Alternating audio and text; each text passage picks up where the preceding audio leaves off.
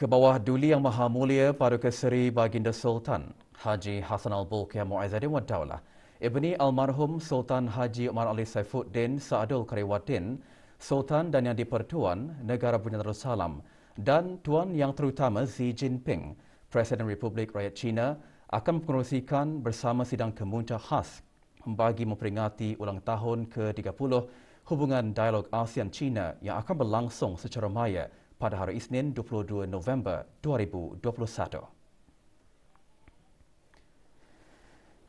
Bagi meraihkan ulang tahun ke-30 hubungan dialog ini, para pemimpin ASEAN China dijangkakan akan memfokuskan perbincangan kepada meningkatkan dan mengukuhkan kerjasama bagi masa hadapan.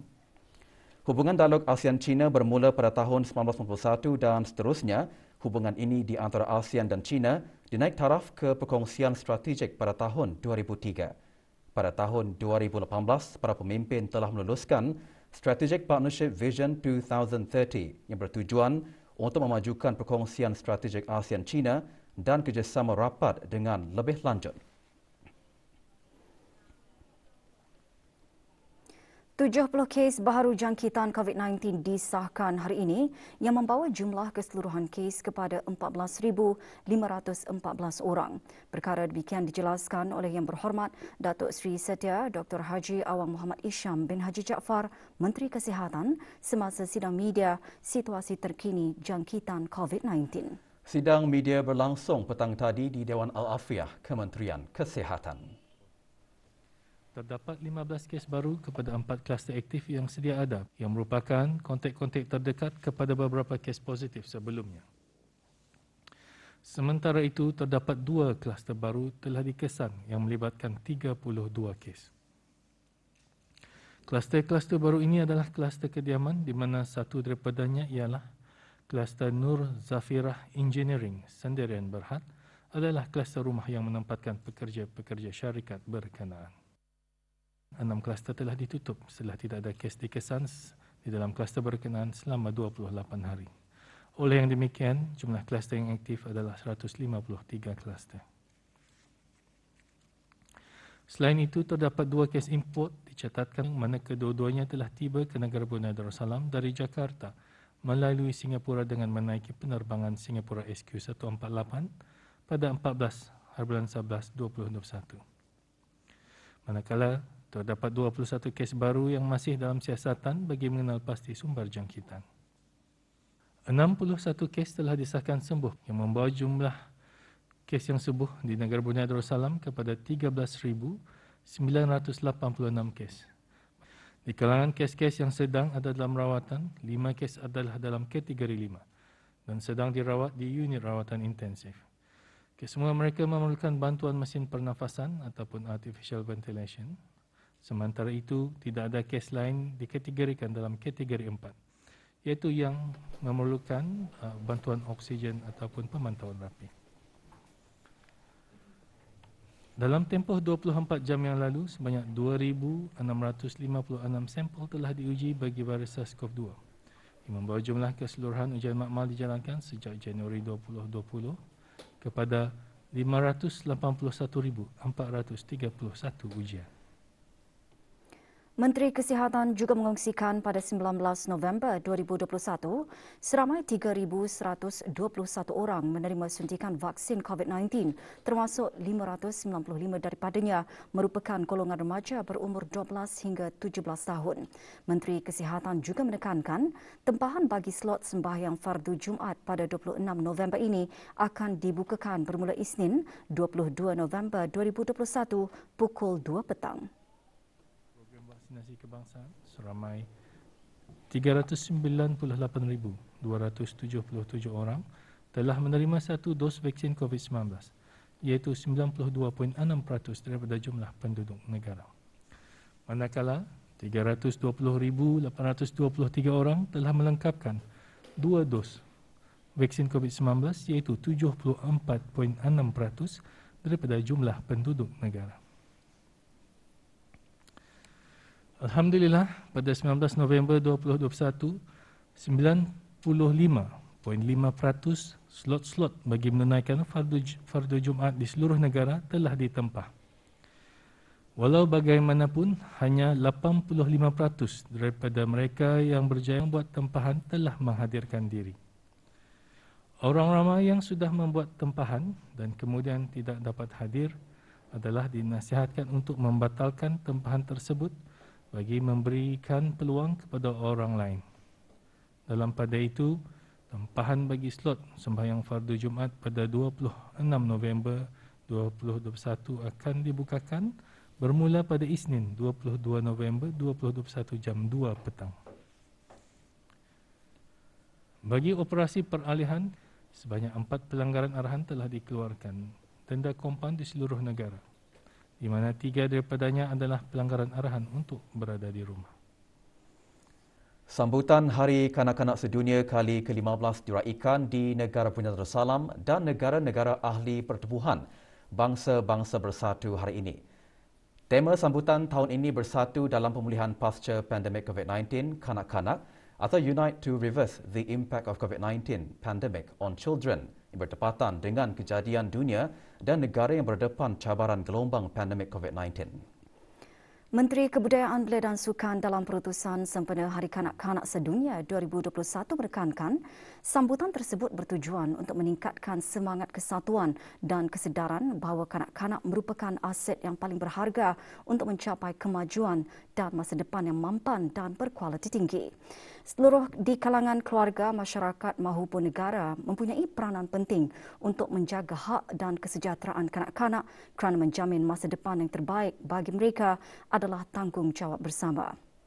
Yang berhormat Major Jeneral Bersara Datuk Paduka Sri Awang Haji Aminuddin Ehsan, pimpinan orang kaya Saiful Muluk Datuk Sri Paduka Haji Abidin menegaskan dalam situasi pada masa ini pemerkasaan golongan kanak-kanak untuk mengongsikan pandangan mereka amatlah mustahak untuk memahami impak COVID-19 terhadap keadaan psikososial mereka maupun langkah-langkah yang terbaik untuk membantu mereka dari segi pendidikan, kesihatan dan aktiviti-aktiviti sosial dalam norma baharu. Di sinilah kepentingan pendekatan Whole of Nation dalam memikul usaha tersebut. Jelas yang berhormat sejak program vaksinasi COVID-19 bagi golongan berumur 12 ke 17 tahun dimulakan pada 8 November 2021, sejumlah 34,151 atau 89.4% daripada golongan tersebut telah menerima suntikan vaksin COVID-19 setakat 17 November 2021.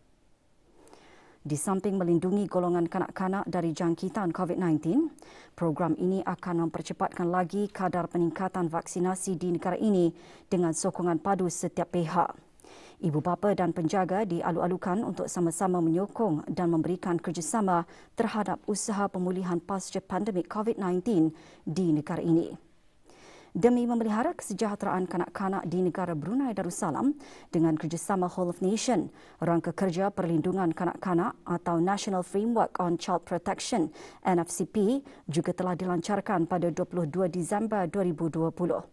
Rangka kerja ini bertujuan untuk mengembangkan lagi ekosistem perlindungan kanak-kanak di negara ini demi memastikan mereka berupaya untuk menjalani kehidupan yang lebih selamat dan berkualiti, mempunyai akses kepada keperluan asas serta diberikan perlindungan sepanjang hayat. NFCP akan terus dilaksanakan dengan penerusan sesi-sesi pemberigaan bersama pihak-pihak yang berkepentingan di samping pembangunan kapasiti, pembukuan, penterjemahan serta penubuhan daftar Registry of Children and Young Persons in Need of Protection sebagai nilai tambah kepada NFCP.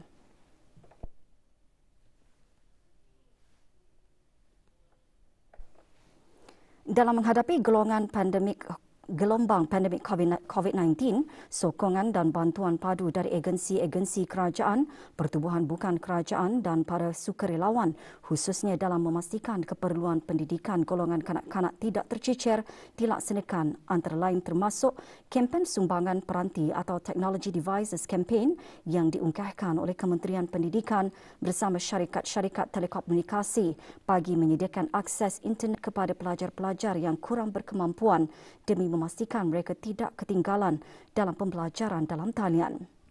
dan program infak tarbiyah khas COVID-19 yang diungkahkan oleh Jabatan Pengajian Islam Kementerian Hal Ehwal Ugama untuk memenuhi keperluan pembelajaran dan pakej kesihatan bagi golongan pelajar persekolahan Arab dan Ugama yang kurang berkemampuan. Menurut Yang Berhormat dalam menyokong inisiatif pendidikan sebagai satu cara utama untuk membasmi kitaran kemiskinan, program biasiswa anak yatim yang diungkahkan bersama oleh Kementerian Kebudayaan Belia dan Sukan dan program BIBD Alaf akan bermula pada tahun persekolahan 2022 dengan tajaan dua pelajar anak yatim setiap tahun. Tajaan ini akan dibiayai melalui tabung kanak-kanak anak yatim di bawah Jabatan Pembangunan Masyarakat yang disumbangkan oleh orang ramai. Program ini diharap akan dapat membantu anak-anak yatim yang dikenal pasti untuk meningkatkan kualiti kehidupan mereka dan keluarga melalui pendidikan terutama dari golongan kurang berkemampuan. Platform bagi membantu kanak-kanak secara inklusif di negara ini turut disediakan melalui talian Anak 121. Sejak ia dilancarkan pada 1 Oktober 2019, sebanyak 246 panggilan telah diterima dengan peningkatan tinggi dalam aduan orang ramai yang berkaitan dengan isu kanak-kanak. Sesuai dengan akronim anak negara aset kita ni dan moto kami mendengar orang ramai juga diseru untuk mengungsikan talian ini kepada keluarga, rakan-rakan dan anak-anak agar isu yang melibatkan kebajikan dan kemaslahatan kanak-kanak dapat dikelinga dengan segera. Pada masa yang sama, demi memastikan kesejahteraan seluruh golongan kanak-kanak di negara ini terus dipelihara tanpa mengira latar belakang mereka, Kementerian Kebudayaan Belia dan Sukan telah mengambil langkah bagi pembinaan rumah perlindungan yang baharu di bawah kompleks rumah kebajikan. Bermula awal tahun depan, bangunan ini akan menyediakan persekitaran yang lebih selesa dan menyeluruh bagi residen-residen tertentu untuk membesar, khususnya golongan kanak-kanak yang memerlukan perlindungan.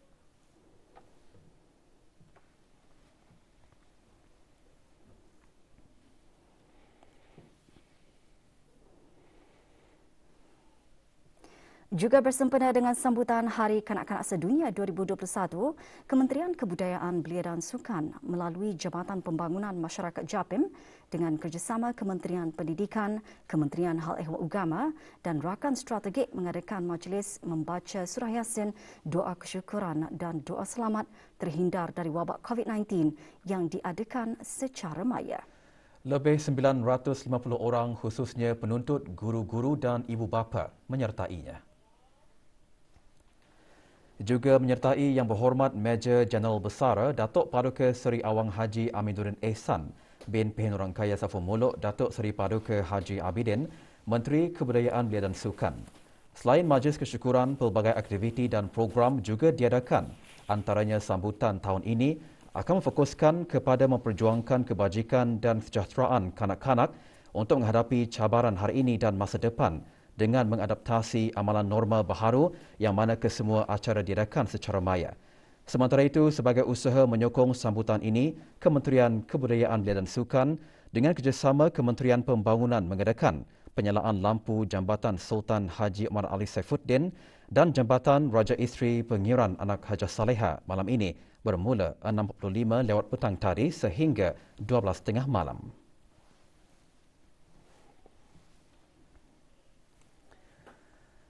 Dengan bermulanya fasa peralihan di bawah rangka kerja Pelan Pemulihan Kebangsaan COVID-19 yang bermula kemarin, pejabat-pejabat kerajaan mula operasi hari ini. Para pegawai dan kaki tangan kerajaan perlu mengadaptasikan norma baharu dalam melaksanakan tugas. Hanya pegawai dan kaki tangan yang sudah melengkapkan dua dos vaksin yang dibenarkan bertugas dengan memaksimumkan jumlah kehadiran pegawai dan kaki tangan tidak melebihi 50% mengikut kapasiti pejabat. Di bawah fasa peralihan tersebut, para pegawai dan kaki tangan kerajaan juga perlu sentiasa mematuhi garis panduan yang telah ditetapkan dalam sama-sama mengawal wabak COVID-19. Ah, cara kami melaksanakannya, kami ada beberapa stesen ya, di pintu masuk. Hanya ada satu pintu masuk ke kementerian ini dan di jabatan-jabatan dan kami ada menyediakan uh, petugas-petugas kami ada menyediakan petugas-petugas yang yang uh, akan uh, apa namanya memastikan bahawa hanya mereka yang memenuhi SOP boleh berada dalam bangunan. Para pegawai dan kaki tangan kerajaan juga dimestikan menjalankan ujian antigen rapid test setiap dua minggu sekali. Pegawai dan kaki tangan dikendaki untuk membuat ujiannya terlebih dahulu dan membuat membuat gambar dan diberikan kepada ketua-ketua bahagian dan ketua cawangan masing-masing bagi pengesahan. Ini meningkatkan keyakinan para pegawai dan kaki tangan untuk hadir bekerja. Di samping juga dapat memastikan terjaganya keselamatan dan kesejahteraan pegawai dan kaki tangan. Orang ramai diingatkan untuk memikul tanggungjawab masing-masing dan komited terhadap peraturan yang telah ditetapkan dalam sama-sama mengawal COVID-19 di negara ini. Sementara itu, restoran dan food court beroperasi seperti biasa dengan membuka semula perkhidmatan dine-in di bawah fasa peralihan. Dengan pembukaan semula itu, waktu perniagaan dipanjangkan berbanding sebelumnya. Bagi memastikan keselamatan pelanggan, pemilik premis dikehendaki memastikan semua pekerja kaki tangan mendapat vaksinasi penuh dan memastikan semua individu yang memasuki restoran mematuhi garis panduan Kementerian Kesihatan. Kapasiti biasa boleh menerima 44 orang, sekarang 22 orang sahaja. Jadi 50% daripada kapasiti sebenarnya. Ini alhamdulillah lah dapat dah makan macam tarus sajalah. Uh, tapi saya sebagai pelanggan je, uh, mesti je patuhi SOP. Meskipun perkhidmatan dine-in di restoran dibenarkan semasa fasa peralihan ini, namun terdapat beberapa buah restoran masih beroperasi menggunakan perkhidmatan takeaway.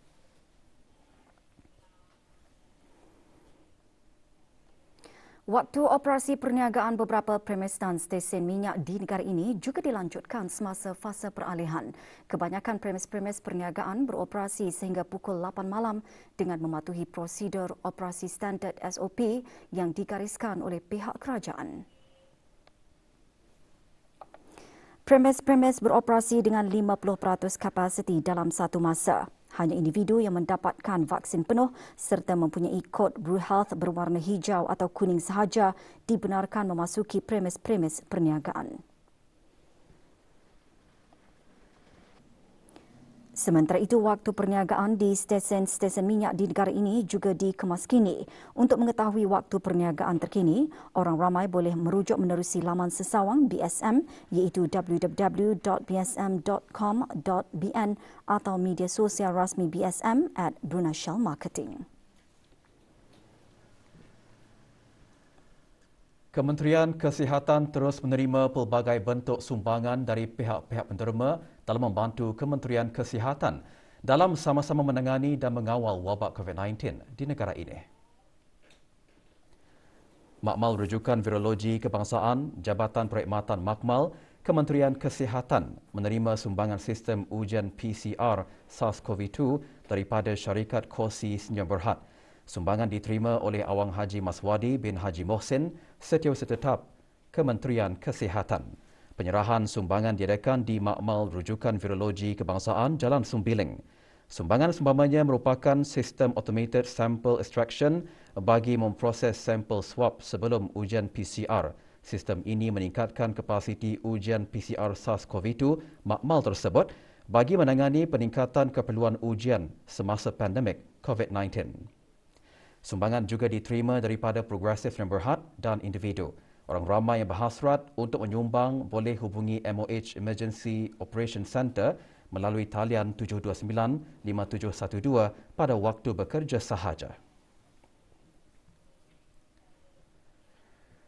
Seorang perempuan warga negara tempatan hari ini hadir di Mahkamah Magistrate Bandar Seri Begawan bagi mendengar keputusan perbicaraan rasuah yang dihadapinya. Alina binti Muhammad Arifin, seorang ejen freelance yang tidak mempunyai pekerjaan tetap berusia 48 tahun pertama kali dihadapkan ke mahkamah pada 4 Mei 2018 dan mengaku tidak bersalah atas enam pertuduhan 6 di bawah Seksyen 6C Akta Pencegahan Rasuah Bab 131 iaitu tuduhan mengemukakan dokumen palsu kepada Jabatan Imigresen dan Pendaftaran Kebangsaan. Defendant yang tidak diwakili peguam menuntut perbicaraan yang bermula pada 10 Oktober 2019 yang mana sembilan saksi dipanggil oleh pihak pendakwaan untuk membuktikan kes itu.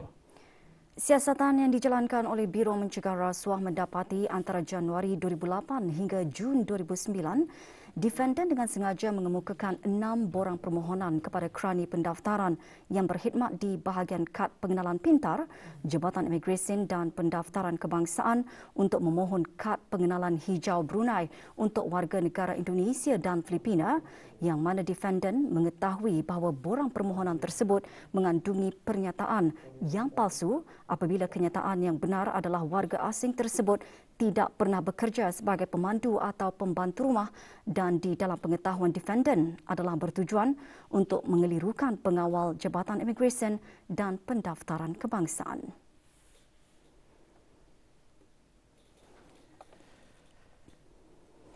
Mahkamah hari ini mendapati defendant bersalah dan disabitkan atas empat pertuduhan daripada enam pertuduhan pilihan.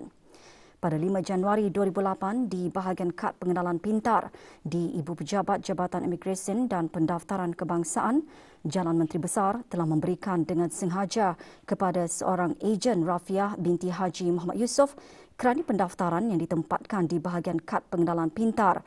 Jabatan Imigresen dan Pendaftaran Negara satu dokumen iaitu borang permohonan kad pengenalan hijau bagi seorang warga negara Indonesia iaitu nasihun dengan nombor pasport Indonesia AH698045 kepada pengawal imigresen dan pendaftaran negara dan yang mana ianya mengandungi kenyataan palsu iaitu Nasihun dinyatakan dalam borang permohonan tersebut sebagai pemandu bagi Haji Muhammad Ali bin Muhammad Arifin di nombor 32 Simpang 28 Jalan Batu Bersurat Gadung apabila kenyataan sebenar adalah Nasihun tidak pernah diambil bekerja oleh Haji Muhammad Ali sebagai pemandu tersebut.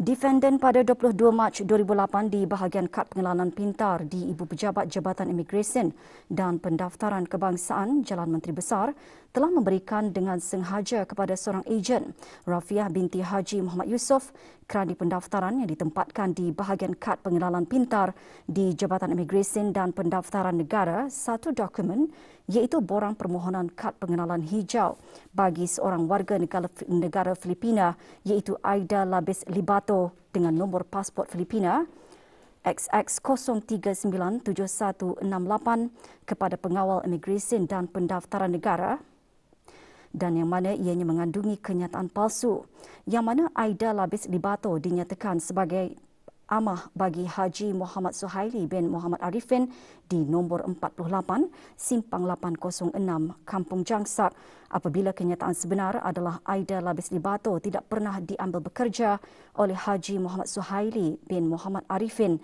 sebagai seorang amah.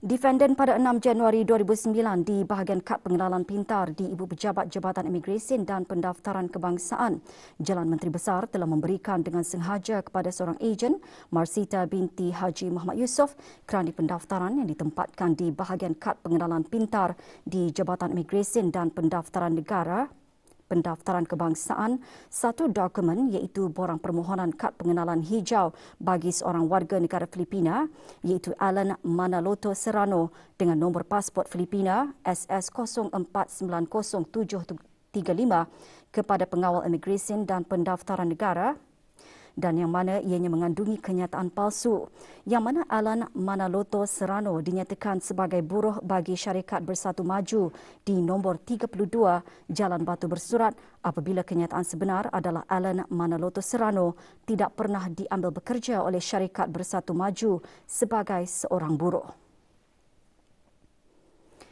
Defendant pada 24 Jun 2009 di bahagian kad pengenalan pintar di Ibu Pejabat Jabatan Imigresen dan Pendaftaran Kebangsaan Jalan Menteri Besar telah memberikan dengan sengaja kepada seorang ejen, Marsita binti Haji Muhammad Yusof, kerana pendaftaran yang ditempatkan di bahagian kad pengenalan pintar di Jabatan Imigresen dan Pendaftaran Negara satu dokumen iaitu borang permohonan kad pengenalan hijau bagi seorang warga negara Filipina iaitu Julius Anthony Abonjan Vino dengan nombor pasport Filipina XX052231 kepada pengawal imigresen dan pendaftaran negara dan yang mana ianya mengandungi kenyataan palsu yang mana Julius Anthony Abonjan Vino dinyatakan sebagai buruh bagi syarikat Santana Electrical Company di nombor 12 bangunan Hasbullah Jalan Gadong apabila kenyataan sebenar adalah Julius Anthony Abonjan Vino tidak pernah diambil bekerja oleh syarikat Santana Electrical Company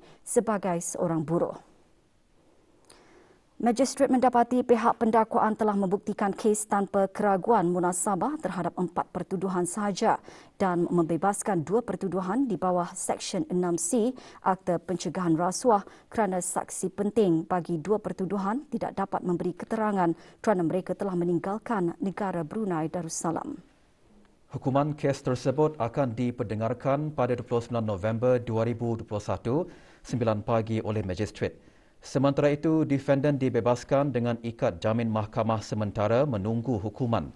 Pendakwaan dan perbicaraan kes tersebut dikendalikan oleh pegawai pendakwa Syamsuddin bin Haji Kamaluddin.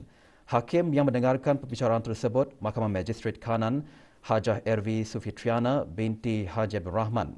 BMR mengingatkan orang ramai bahawa menghadapkan dokumen palsu ke mana-mana jabatan kerajaan adalah salah satu kesalahan yang serius yang boleh dikenakan hukuman pemenjaraan selama tujuh tahun dan disabitkan denda sebanyak RM30,000. Seminar bersiri secara maya sempena sambutan-sambutan Hari Peladang Petani, Penternak dan Nelayan HPPPN yang diadakan pada setiap hari Sabtu sepanjang bulan November diteruskan lagi pagi tadi dengan tema peluang-peluang perniagaan dan pembiayaan kewangan dalam bidang pertanian. Seminar anjuran Jabatan Pertanian dan Agri Makanan kali ini membincangkan peluang-peluang perniagaan di sektor pertanian dan agri makanan serta menjana model bagi memulakan bidang pertanian. Sesi pertama disampaikan oleh Awang Abu Zar bin Haji Muhammad Tahir, Ketua Bahagian Dasar Pengurusan dan Kewangan Jabatan Pertanian dan Agri Makanan dan Dr. Hajar Ruaina binti Hajib Rahman, Ketua Bahagian Agri Makanan dan Pengurusan Akses Pasaran, Jabatan Pertanian dan Agri Makanan yang antara lain mengongsikan peluang-peluang pelaburan termasuk produk-produk nilai tambah serta pembekalan perkhidmatan pertanian. Sementara itu, penyediaan peluang-peluang untuk mendapatkan modal bagi usahawan pertanian pula dikongsikan semasa sesi kedua yang disampaikan oleh Awang Norazwan bin Awang Othman, pengurus operasi Bank Usahawan dan Awangku Ahmad Najib bin Pengiran Datuk Seri Paduka Haji Bahrom, pegawai eksekutif DEC. Seminar secara maya ini akan diteruskan lagi pada hari yang sama minggu hadapan dengan tema transformasi ke arah teknologi dan teknik moden pertanian.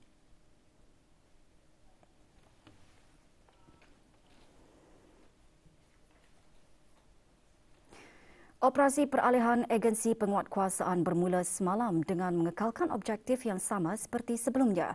Antaranya memastikan masyarakat awam patuh terhadap segala garis panduan yang dikeluarkan oleh Kementerian Kesihatan. Tempoh operasi yang dikendalikan bermula 10 malam hingga 4 pagi. Di sebalik pemendikan tempoh tersebut, penguatkuasaan tetap dilaksanakan malah diperketatkan lagi bagi mengelak terjadinya sebarang kelalaian orang ramai ke atas perintah dan arahan yang telah ditetapkan. Kerjasama masyarakat awam sangat diharapkan bagi sama-sama memikul tanggungjawab menyusuri fasa peralihan ini demi memulihkan keadaan negara dari jangkitan wabak COVID-19. Sebuah syarikat dikenakan kompaun RM5,000 atas kesalahan di bawah Seksyen 43-3 Perintah Kawalan Bangunan 2014 larangan terhadap pembina tidak berlesen. Menurut siaran media Otoriti Kawalan Bangunan dan Industri Pembinaan ABCI, Kementerian Pembangunan Syarikat Jamas dan anak-anak kontraktor yang terletak di Kampung Melaut, Mukim Sengkurung dikenakan kompaun pada 18 November lalu dan diberi tempoh selama 14 hari untuk membayar kompaun tersebut.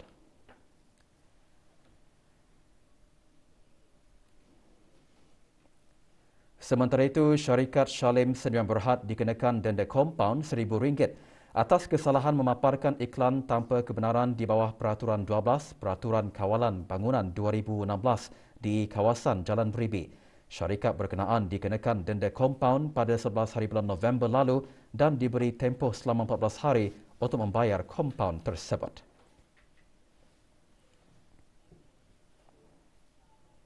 Tindakan individu yang cuba menyeludup 90 karton rokok berjaya dirampas semasa operasi sepadu task force dijalankan oleh pasukan simpanan polis C Company pasukan polis Diraja Brunei bersama Angkatan Bersenjata Diraja Brunei.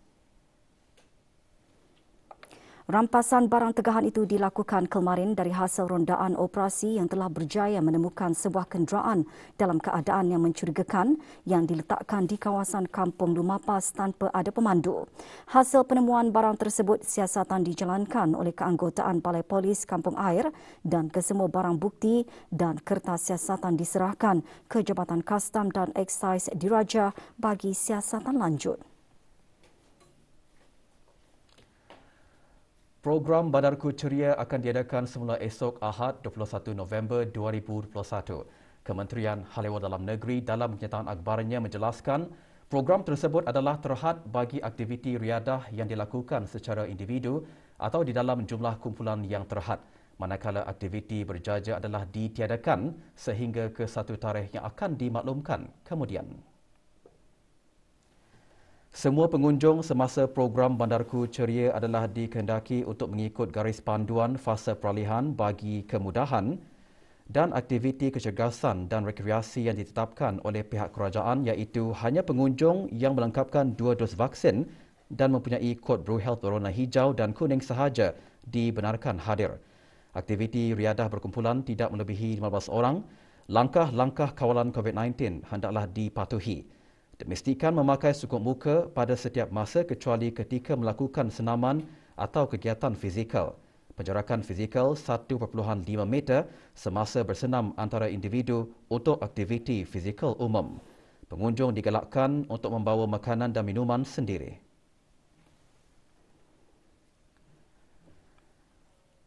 Jalan-jalan yang ditutup semasa program Bandarku Ceria bermula pukul 6 pagi hingga pukul 10 pagi adalah seperti yang tertera.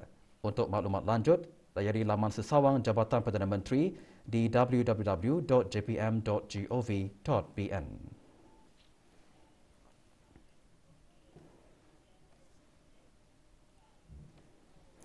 Mahkamah Magistrate Bandar Seri Begawan mengenakan dakwaan terhadap seorang lelaki warga negara Bangladesh berumur 43 tahun di bawah Seksyen 239B Kanun Keseksaan Penggal 22 kerana mengambil gambar seorang remaja perempuan yang kurang senonoh.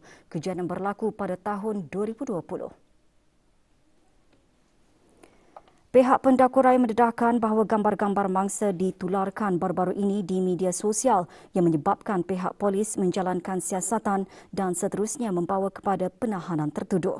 Tertuduh diarahkan menjalani reman selama seminggu dan kes berkenaan disebut semula pada 27 November ini. Jika didapati bersalah, tertuduh boleh dikenakan hukuman penjara tidak melebihi 10 tahun atau denda atau kedua-duanya sekali.